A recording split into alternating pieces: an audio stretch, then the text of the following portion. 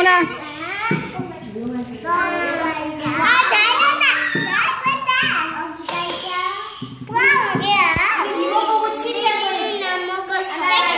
다 먹었어.